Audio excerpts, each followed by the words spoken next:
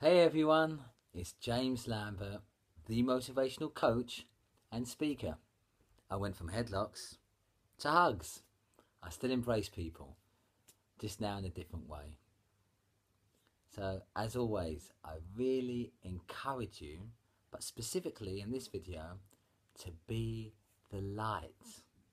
Be the light in the world. I often encourage us all to be an encourager, be an, be an optimist in this world of so many people that have a victim type mentality, but certainly are pessimistic and negative. And I just implore you to be, the world needs more light, figuratively speaking, than ever. There is a lot of darkness, and I understand that, you know, I had a lot of darkness in most of my life. But it's very important that we be, we give hope, we spread hope. And what reminded me, and indeed gave me the idea for this video, was I'm actually a fan of candles. And I've got this little, can you see that? That little tea light. I don't know it's a little tea light. And just that little light, it's just a small thing there. And yet, that can begin to dispel the darkness. In a pitch black room, if you take it in, all the shadows retreat. And just like this little light, this tiny little light, it makes a difference. And I thought sometimes I know in my own life I felt very small and insignificant. And I thought, my goodness, there's over six billion people in the world now. What possible difference, positive difference, can I make? And I read something re- re- uh, recently that was lovely. And it was like, if you don't think a small thing can make an enormous difference, try sleeping in a sleeping bag or in a tent with a mosquito buzzing about. And it's sort of alluding to the fact that just a small thing can make a dramatic difference in your overall state of mind and well being.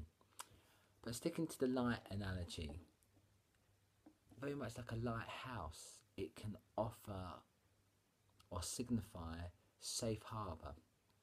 And it's like a protector, it's on the watch for you, it makes sure the ships don't crash light. We all look forward to the lighter months. I know I love the spring when the daffodils come up. It looks lighter, the quality of air, and of course in the summer, light, the great sun itself. We all feel good, but yet we can be the light. No matter what the season is, no matter what the season is, we can be lights in this world. And also, I remember reading somewhere about not hiding your light under a bushel. It was referring to, you know, hiding the light. Now, your light could be a metaphor for talent, great talent that you have got, and you should share your talents with the world. And I don't want you to hide them. So be, very bold and light this candle. Shine your light. Shine your light. And I really want to encourage you out there. You know, a little candle can bring a lot of light to a room, and you can bring a lot of light and therefore love to, to where you live, to your local community, to the world at large. So I just hope what I'm really trying to say is just like this candle, burn brightly, shine brightly, live your life, love lots, and let your light shine. Your light can be your talents.